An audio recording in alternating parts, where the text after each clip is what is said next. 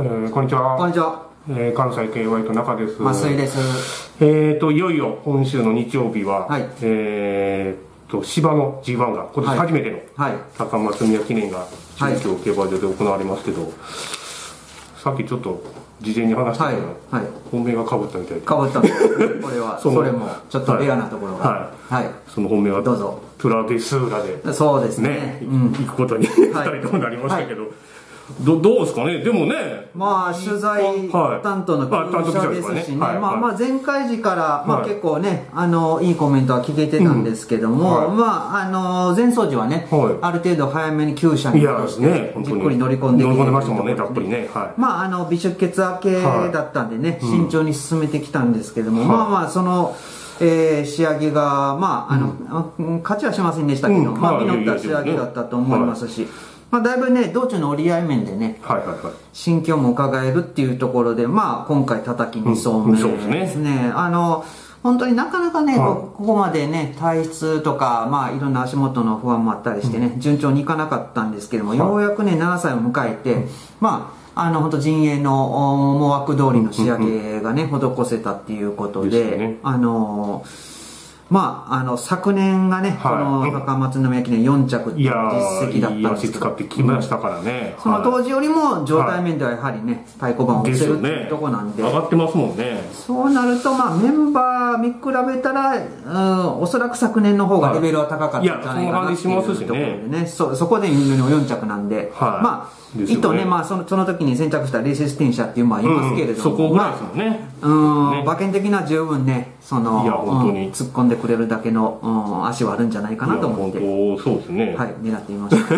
僕も狙ってみましたけど、、はい。や本当材料がね、うん。整ったんでね、ここ行かなあかんわっていうところですし、そうですね。まあそれデータ的にちょっと7歳がっていうの引っかかるんかもしれないですけど、さっきまあ増井さんが言ったようにちょっとね、結構7歳馬もいて、メンツ的になんかね新興勢力がいっぱい出てきたみたいな感じのレースじゃないのでそうですね。十分太刀打ちできると思うんで、馬券圏内ね来てくれると。あとはね、まあ、あのーちょっと週末のね、あの、馬場予報、はい。先週に引き続いて、ちはい。ょっとなかなかパンパンの量が望めないような、そうですね。うん、予報が出てますんでね、はその辺も加味すると、まあ、経験値というか、うん大きいですよねね、他になかなかし新興勢力とか未知の魅力がある馬はいるんですけれども、うん。その辺の、うんコース経験値っていうところも、そうですよね、うん。しかも悪い馬場もね、去年ね。武器になるかなっていう気がしますね。ですよね、だからもう太鼓はやっぱり僕もレシステンシアうん。にはいしたんですけどそうですね。も、そこになるかなっていうところなんでね、ライバル的にまあ言うまでもなく実績は上位ですし、まあまあ千人のね G1 でずっと2着も来てますし、まあ悪い馬場でも去年でもはしっかり走れてますし、まあ隙がないっちゃ隙がないとは思うので、あとはまあまあ昨年がね、はあのー、阪急杯叩いてのローテだったんですけどね、うんうんうん。まあまあ今年はまあ本当はこの後にねちょっと香港もありましたからね、はい。ね。当初はね。ね。だからまあそこに選んでのローテっていうことになったんですけど、まあここはぶっつけになりましたけど、はまあぶっつけは国しないそうですね。どころかね。先週今週あたりの動き見てたら問題ないかなっていうところで,、はいまあここはちょっとね本当うんレシステンシャからするとなんとかもぎ取りたい一いや戦かな本当そうなりますけどね、はい。うん、だからあとはねまあちょっとまあ3番で僕メイケール行ったんですけど、まあまあご存知の通りというかね、あちょっとやんちゃなとこあったところですけど、まあジェンズは本当にねバッグ工夫してしっかり走れてましたし、まあ能力だけ言えばねここ入ってもほんまにあのコーツ取らないと思うので、はい引きを取らないと思うので、まあ今ちょっと能力全開できるような感じになってるので、やっぱ不気味な存在にはなるかなっていうところですかね。うんまあ、はい。前回でねこれも中京も克服したっていうのはそうですね。大きいですね。前哨戦をね、はい。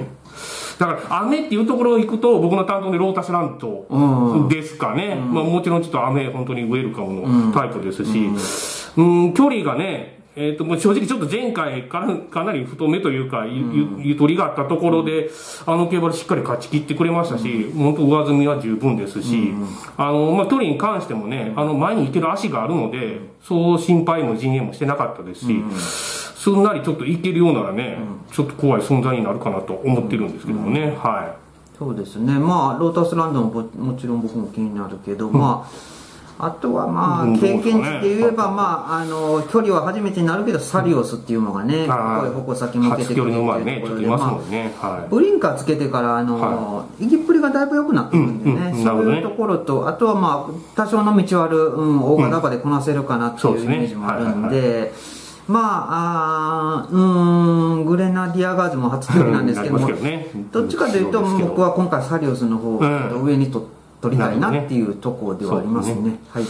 まあ、どっちにしろちょっとね、馬券では結構面白いレースになりそうですし、まあ、馬場も含めてかなり難しくはなるんでしょうけど、まあ、ちょっとどういうふうな結果になるか楽しみですね。うんはい。で、まあ、今週はちょっと、こっちでも重賞いっぱいありますし、はい。で、まあ、ドバイね、はいあのやられるっていうことで、お忙しい。まあ、松井さんも予想ね、まだまだ仕忙し事これからですわ。まあまあ、その分ね、しっかり馬券で帰ってくるとは思うので、はかりましたあぜひ今週はあの、はい。たっぷりとはい。競馬を楽しんでいただければと思います。じゃあ、この辺で。ありがとうございます。失礼します。